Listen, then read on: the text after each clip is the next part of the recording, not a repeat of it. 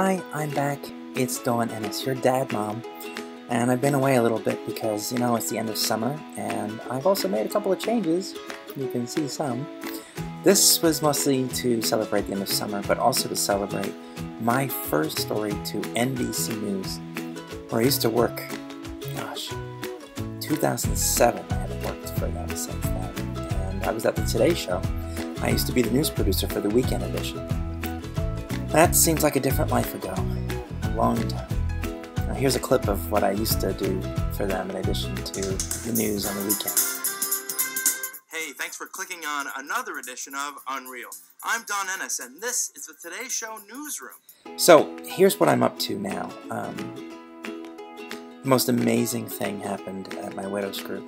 After our most recent uh, weekly, sorry, every other weekly meeting, wish it was every week, honestly.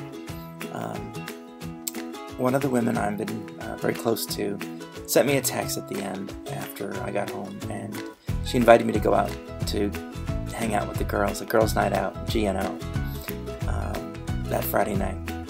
I couldn't have been happier. I mean, it was it was like a prayer answered because, except for Facebook and grocery shopping, I really don't get out much and see people and meet people and have girlfriends or have people to really talk to. It's been a very lonely time. And this is going to be what I'm fo focusing on uh, this week. It's so hard when you're a single mom or a single dad. It's so hard when you're a widow or a divorcee to find a time to do something for yourself, whether it be your nails or go out with the guys or go out with the girls or to do something that makes you feel like you have connections who are grown-ups, not just your kids.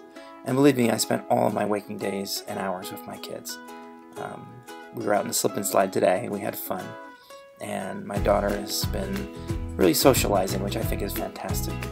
Um, I want to take the boys to the pool, and we're going to hopefully go to the beach before summer's out.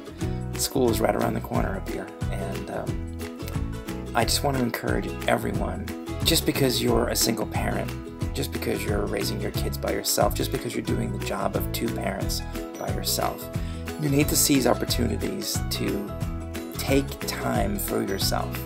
No matter what it is, whoever it is you're with, find a friend. Find someone who, maybe from your older life, who will get to know you in this new format.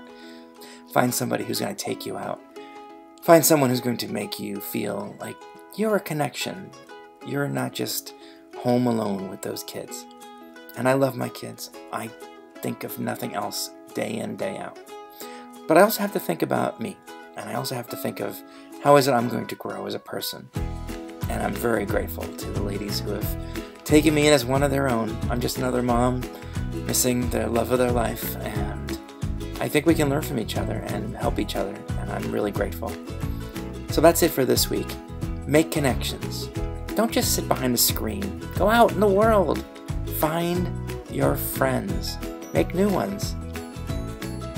I'm your DadMom, and I'll see you next time. Enjoy what's left of summer. Like everything, it doesn't last.